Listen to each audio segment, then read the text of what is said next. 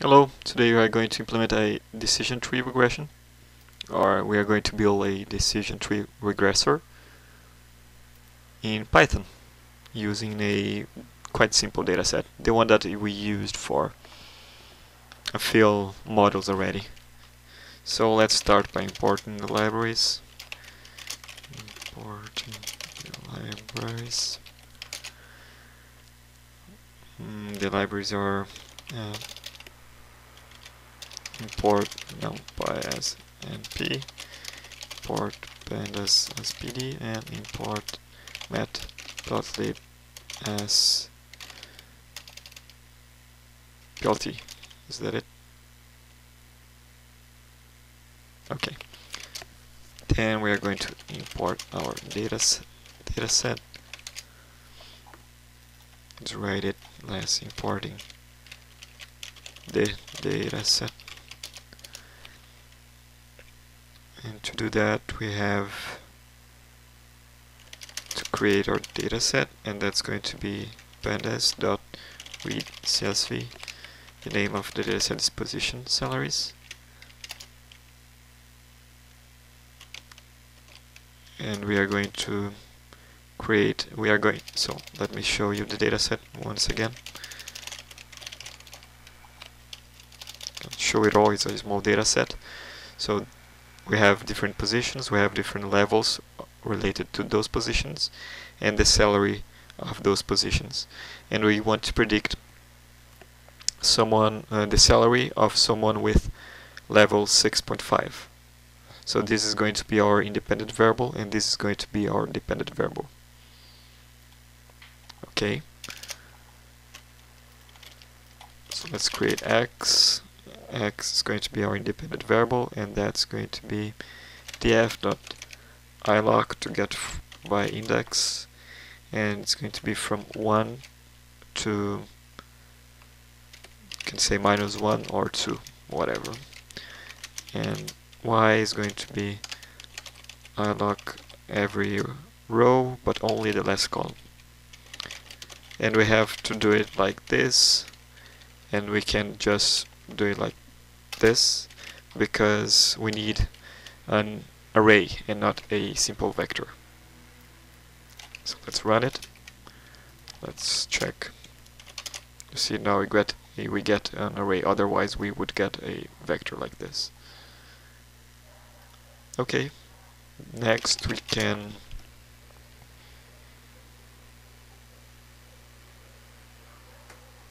we don't need to do feature scaling for decision tree regress regressor.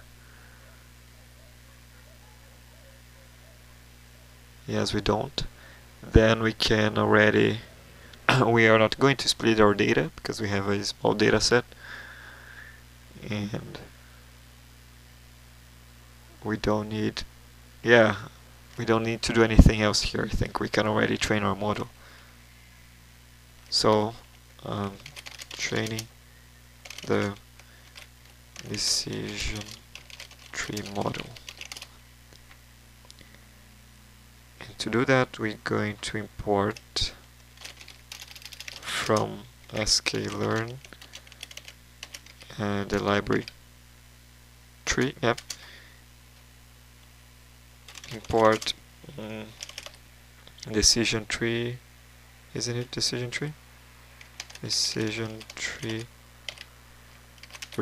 oh yeah, decision tree regressor. There is also the classifier, but we are going to use regressor because we have continuous values as our dependent variable. Okay. So let's run it and let's create our regressor and that's going to be our decision tree regressor. We can pass some parameters here like the type of split, the criterion, not sure what that is, I don't remember. Um, the depth, the minimum samples of split, maybe that's how many branches it splits each time. Yeah, we have some other other things, other parameters to, to fill if you want to. But our decision tree is going to be a very simple decision tree, so we are not going to deal with any any parameter tuning in this um, exercise at least. Okay, so we create it, then we can fit it. Regressor.fit, and we are going to fit our whole data set and our our yeah our whole data set. Okay, we created our model. Now we can predict a value, predicting a value,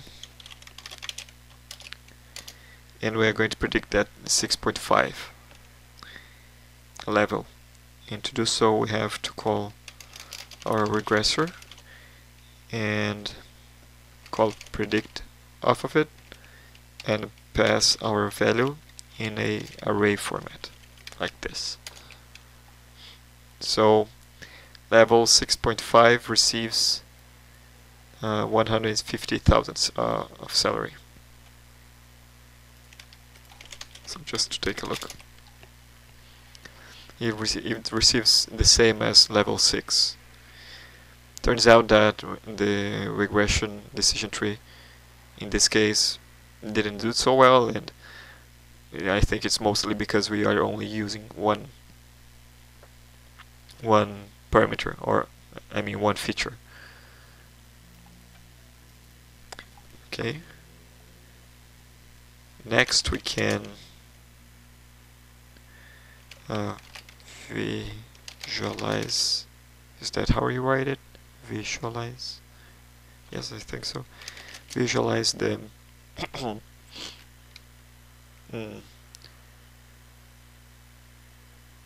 the model on the training set visualizing the visualize the, yeah the model visualizing the model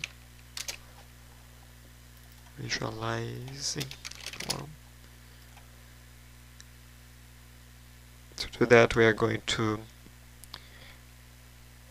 plot it by using plt.scatter and passing isn't isn't it plt scatter? I think it is and I think that it has to pass x and y. Let me just check. Oh it's matplotlib dot.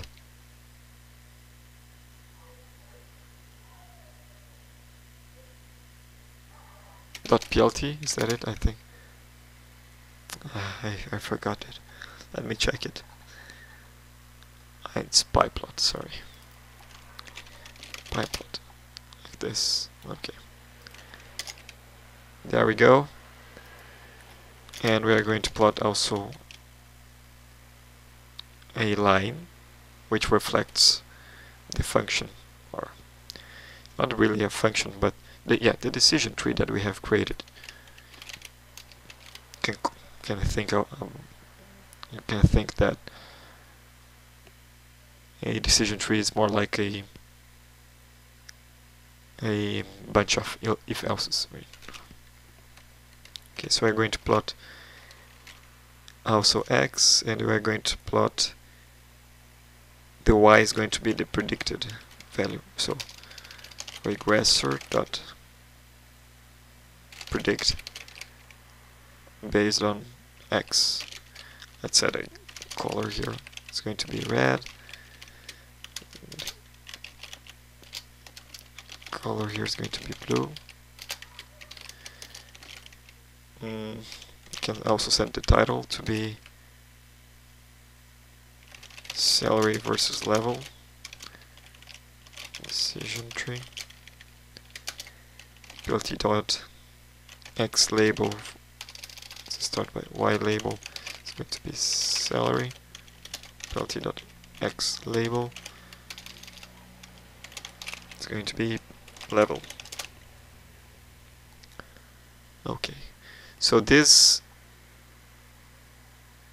Wait a second, let me check my cheat sheet. I think I did something wrong. Ba-da-da, ba-da-da.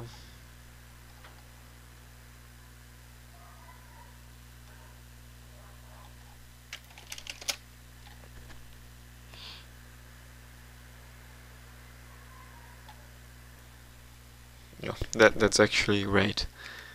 We get this. This is not right because our decision tree is, was trained using the whole data set and it's uh, predicting the values based on that exact model like we we we use the same data set to train the model and to test the model and that means that it is predicting ex exactly right but it's actually not like this.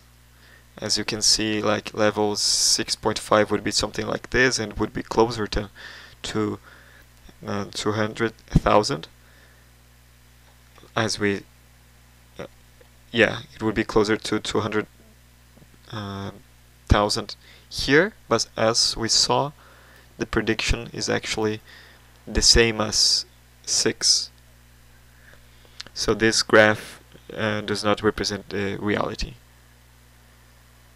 Uh, because we use the same model to, to, to train our model and to test it. And it is a decision tree.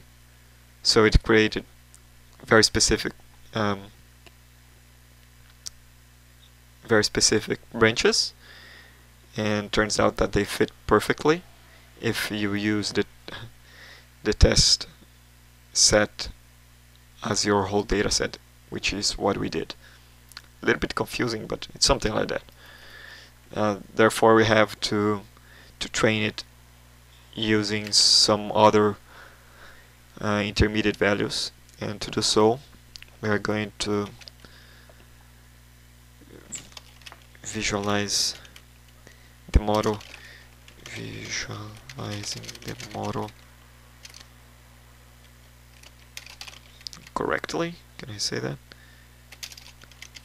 with higher resolution let's call it higher resolution and this is lower resolution and it, it is actually wrong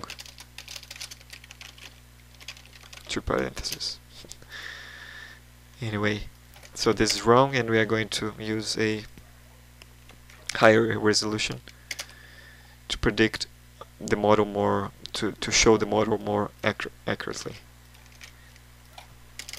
To do so, we are going to create more samples and those samples will be intermediate values between the values that we already have. And we are going to call it xgrid. And to do so we call np arange and that's going to range from the minimum value of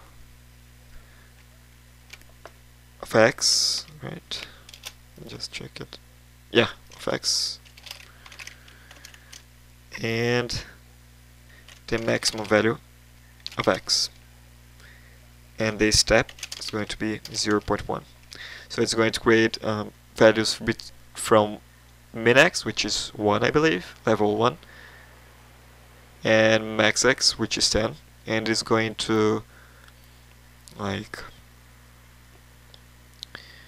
create values in between those using a step of 0.1 so it's going to create like 1.0 1.1 1.2 blah blah blah blah blah.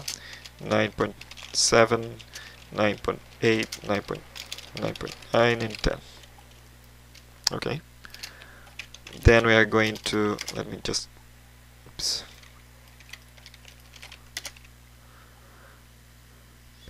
What did I do wrong? Oh maybe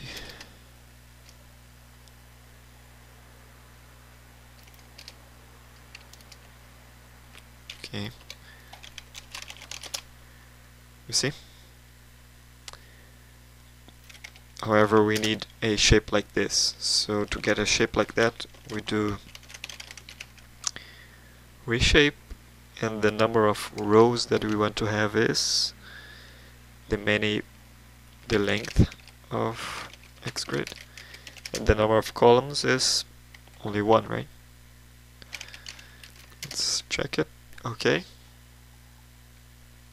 That's going to be our xgrid. Let's put it all once into one cell.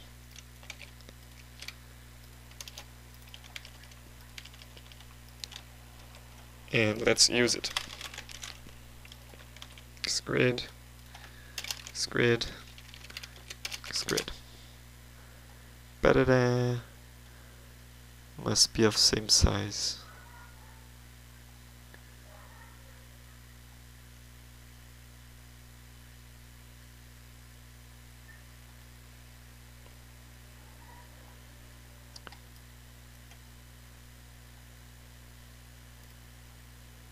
Oh, no, here we keep with x. Yeah. Okay. So now we have a more realistic um, prediction. You see that like about 6.5 we get the same value as 6, which is correct based on our prediction here. And we get this weird looking like step graph which we haven't found before or haven't came, come across before.